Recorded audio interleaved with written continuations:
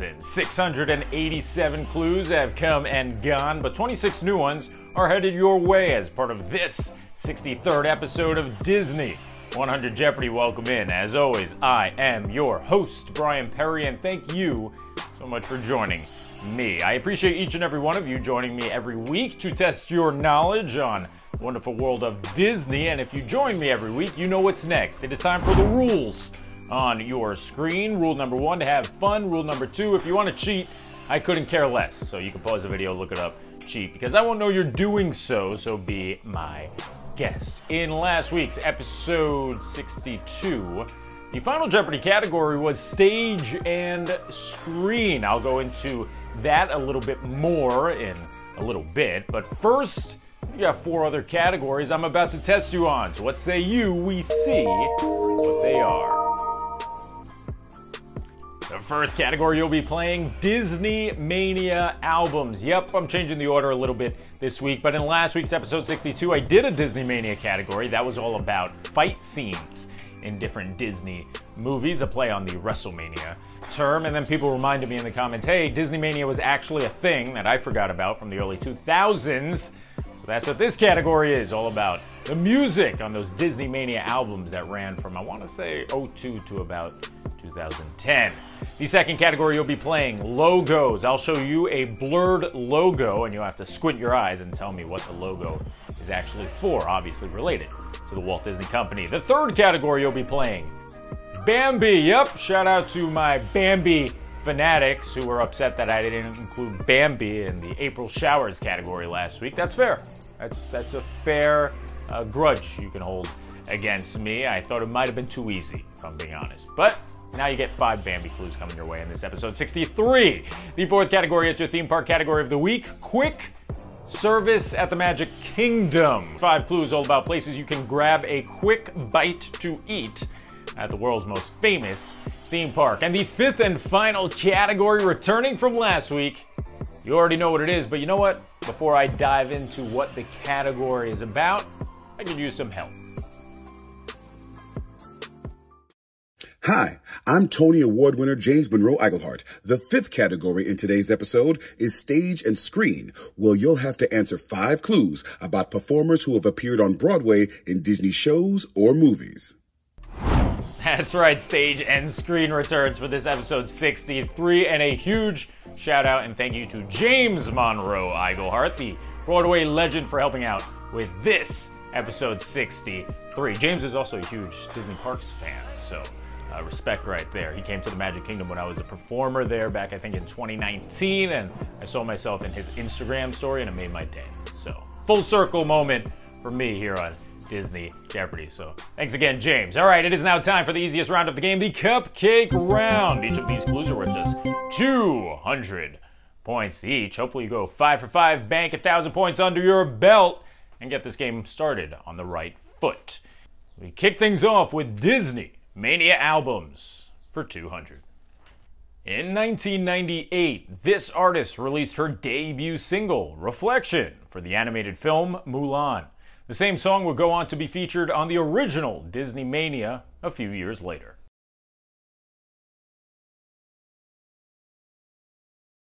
Who is the former Mickey Mouse Mouseketeer, Christina Aguilera? She would actually go on to make another version of Reflection 22 years later, the live action form of the movie.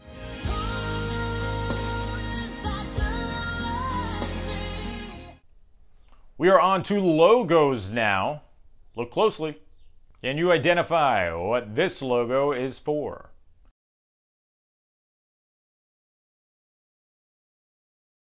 They did just change the color a little bit. It used to just be blue. Do you like the new teal, aqua, or whatever it is now? Uh, the correct answer is Disney Plus. Third clue of the game brings us to Bambi for 200 points. One of his first friends, this rabbit, helps Bambi learn his first word.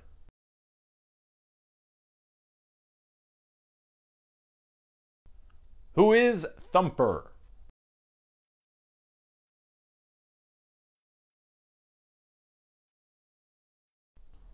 On to our first clue from Magic Kingdom Quick Service. Home to the Astro organ playing Sonny Eclipse, this Magic Kingdom quick service location is its busiest.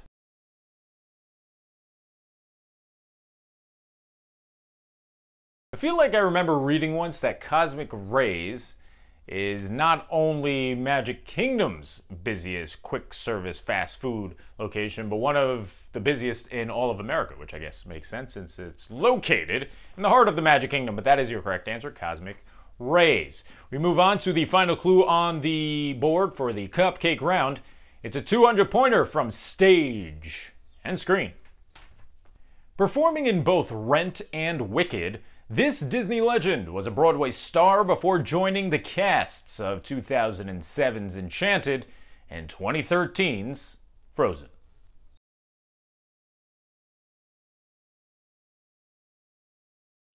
Quite frankly, there's no way I'm doing a stage and screen category without including Disney legend Idina Menzel. That does it for the cupcake round. Hopefully, you did bag all 1,000 points you possibly could as we move on now to the second round for the slightly more difficult 400 point clues. We start with Disney Mania. Hayden Panettiere sang a version of this 1961 Disney song on Disney Mania 5. Selena Gomez followed with her own version on Disney Mania 6.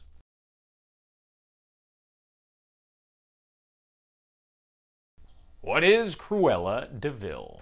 Cruella de Vil, Cruella de Vil. Big difference there is that Selena got a music video out of it. So there you go. We move on to the second clue from logos. Here comes your blurry image. Can you identify what that logo is for?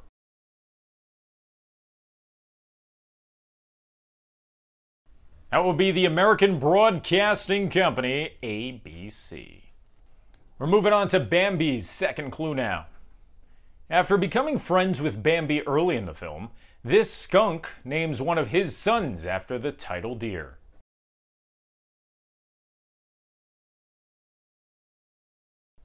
Who is Flower? Hurry up, Bambi. Yes, Papa. I'm coming. Let's go eat again at a different Magic Kingdom quick service location. Located in Fantasyland, this quick service location has the title of Disney's second animated feature in its name.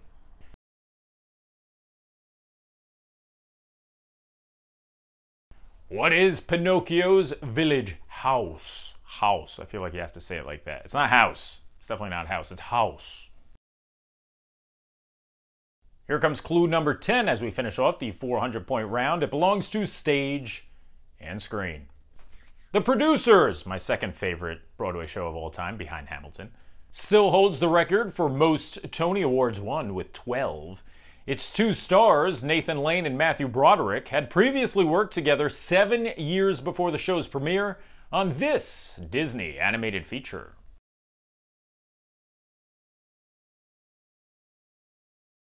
Before they were Max and Leo in the producers, Nathan Lane and Matthew Broderick were Timon and Simba in The Lion King. Under the right circumstances, a producer could make more money with a flop than he could with a hit. There you go, 10 clues down. Hopefully, you're doing pretty well as we head for the halfway point of the game. And speaking of the halfway point of the game, the exact halfway point on the board is pretty important. You'll see why as we move on to the 600 point clue for Disney Mania albums. The Jonas Brothers appear on Disney Mania 4 singing a song written for this famous attraction.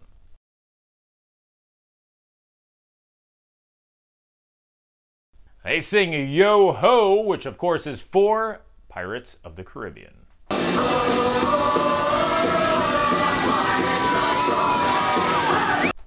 We're on to another logo now. This one's worth 600 points. Look closely. Can you make out what's blurred out here?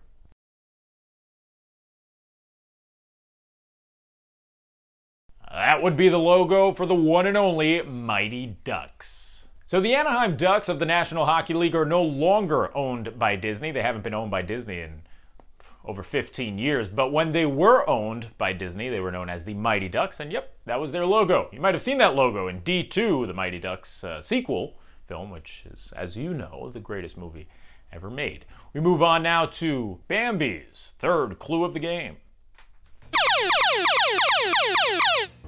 And there you go. I told you it was going to be important. It is time for another daily double. Why is that? Well, this clue, the 600 point clue from Bambi, happens to be the 1700th clue in Disney 100 Jeopardy history. And as many of you know, I give you a daily double every 100 clues. So, with that said, what is your confidence level when it comes to Bambi? Make those wagers right now. You've got five, four.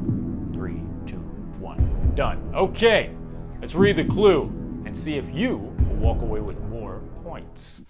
Bambi's significant other.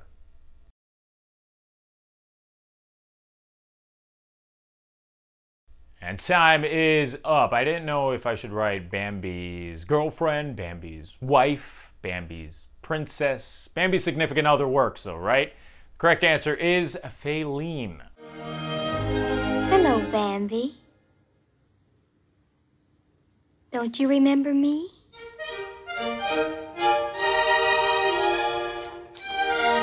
I'm Faline.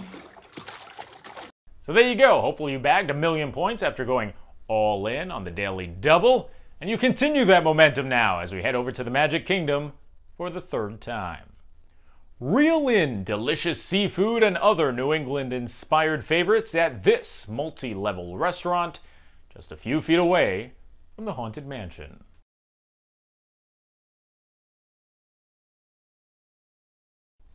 The correct answer is Columbia Harbor House.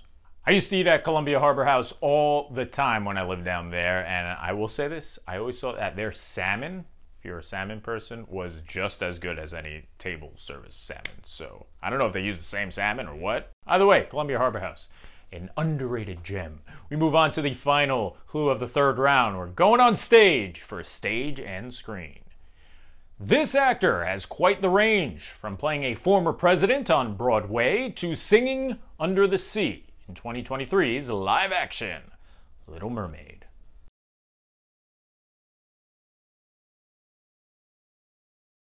He sang Under the Sea because he was the voice of Sebastian in The Little Mermaid. It is the one and only Daveed Diggs. Are you listening to me? Yes, uh, You won't tell him. I won't tell him, and I will stay in one piece. You got it? got it. Sorry, what'd you say again? I'm a dead crab. And I know I mentioned it a few episodes ago, but if you are a fan of Broadway or musical theater in general, make sure you check out Central Park on Apple TV because it is awesome and has a great cast, including Mr. Diggs. We move on now to the fourth round, the second most difficult round of the game. These clues are worth 800 points, and they start with Disney Mania. A new version of Kiss the Girl by this former high school musical star appeared on Disney Mania 5.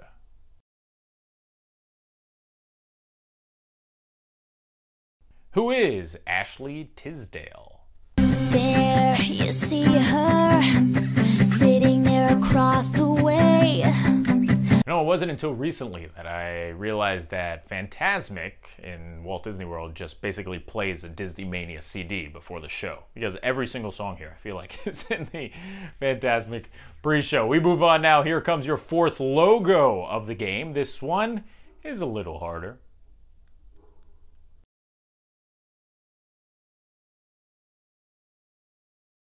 Correct answer is Disney Vacation Club, DVC. And I know as the years go by, logos tend to get simplified, but this is a downgrade because look at this old one. Yeah, give me the old one all day.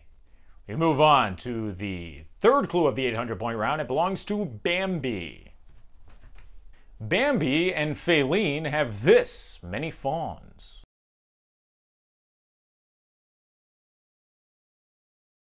Correct answer is two. They have two kids. Look! Two of them. Oh! We are moving on to quick service for the fourth time. Casey's Corner on Main Street, USA offers you over half a dozen different kinds of this entree. Mickey's first words. I don't I, I don't want anyone to be upset that I called a hot dog an entree. If you go on their menu, it says it's an entree. I don't know if I would consider it an entree, I guess, but it, that's what it says. So take it up with Disney if you don't like that I called it an entree, but the correct answer is hot dog. Final clue before we get to the 1,000 point round it belongs to stage and screen. To hear this performer's voice, you can check out Disney's 2022 film Strange World. To see him on Broadway, you would have had to check out 2018 Sunday in the Park with George.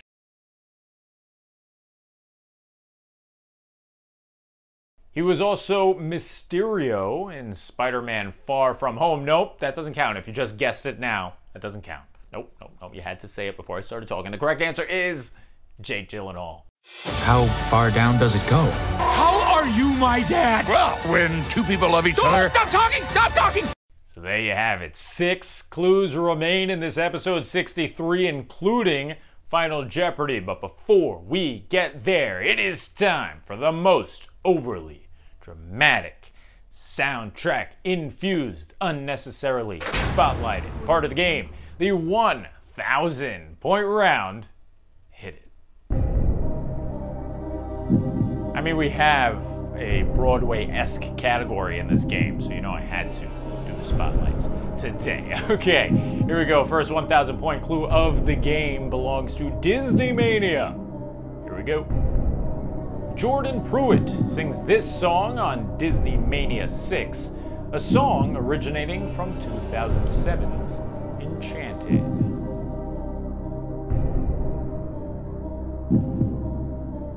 Correct answer is Ever, Ever After.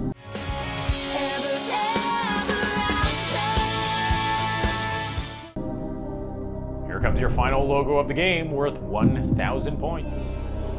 All right, this one is blurred out except for the very end. That's because if I blurred that out too, it literally just looks like text. Because, again, we're simplifying logos here in 2024, I guess. But can you guess what this is?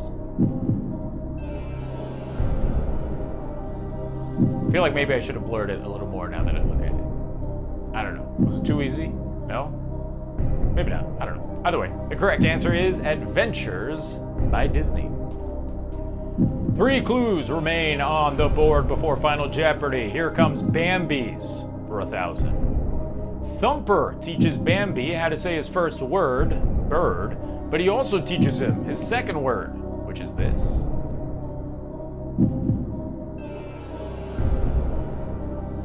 Bird was first and butterfly was second.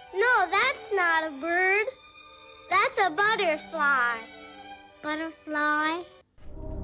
You're probably pretty full by now, but I hope you have room for one more quick service clue.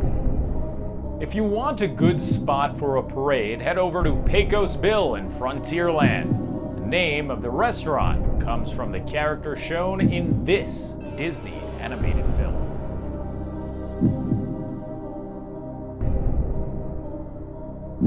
I remember I was blown away the first time I went back and watched Melody Time, which is your correct answer, because at the end of that movie, you're introduced to Pecos Bill, and I had been eating at Pecos Bill's in Magic Kingdom for years. I said, Oh my gosh, that's where the name comes from? Are you serious? And speaking of that restaurant, rumor has it it might be rebranded relatively soon to fit in with Tiana's Bayou Adventure, which is opening this summer, the Splash Mountain replacement. So we'll see. If you're a Pecos Bill fan, you might want to rush on down to Magic Kingdom and eat there before it is no more. Okay, it is now time for the final clue on the board. It belongs to stage and screen, and you know what? Instead of me reading it to you, we get a Tony Award winner to do it. Hi, I'm James Monroe Iglehart. I won a Tony for playing the genie in Disney's Aladdin on Broadway. I also voice Lance Strongbow on this Disney Channel show. Once again, huge thank you to James for helping out with this episode. Yep, Not only was he in Aladdin, of course, and Hamilton and other Broadway productions, but he voiced Flynn Rider's dear friend Lance Strongbow in Tangled the series or Rapunzel's Tangled Adventure. I know the series had two names, so either one of those works for me. My days as a thief are behind me. I don't need a thief. I need a friend. Come on, Flynn. Eugene. Eugene? Talk about your throwback. 25 clues down and one remains, and it just so happens to be the biggest clue of the game. The one clue will determine how proud of yourself you will be this weekend and for the next week until you can redeem yourself, perhaps, in next week's episode. Let's check out the final Jeopardy category in this episode 63. Johnny Depp. Yes, sir, another Disney legend headed your way. I'm a big Johnny Depp fan, so much so that I found myself at the Johnny Depp court case. Yep, look at that. That was a fun time. I was just had nothing to do that day, so I said, why not? Anyway, this category is all about the Disney legend who was inducted as a Disney legend in 2015. So make your wagers on your knowledge of the man who brought to life Captain Jack Sparrow. Okay, time is up. It is time for the final clue of this episode 63. It's all about Johnny Depp. When discussing his creation of Captain Jack Sparrow's persona, Johnny Depp credits a portion of the pirate's personality to this 1945 Warner Brothers cartoon character. Good luck.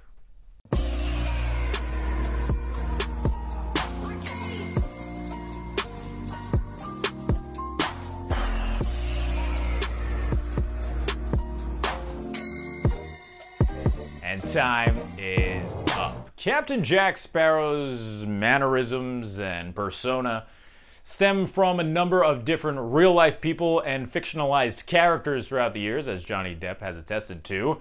This one in particular, from 1945, is Pepe Le Pew. There was that, and then there was a cartoon character that I loved very much as a kid named Pepe Le Pew, who was a a skunk who basically had blinders on and only saw his own reality. You know, ne could never see the the horrors around him and didn't care. You know, um, so there was that. And that does it for episode 63 of Disney 100 Jeopardy. One final thank you to James Monroe Iglehart for helping out with the stage and screen category this week. I really appreciate it. To everyone else, thank you for watching. If you like what you saw, be sure to subscribe. Click that bell icon. Hello, bell. This way, you're notified every time we come out with brand new content. Once again, I've been your host, Bryan Perri. Thank you for watching. Shout out to Sean and Nick, who I met at Madison Square Garden about a week ago. Big Disney 100 Jeopardy fans, and even bigger New York Ranger fans. So let's go Rangers to you guys. I'll see you guys in a week for episode 64 featuring the category of Johnny Depp. Till then. Bye-bye.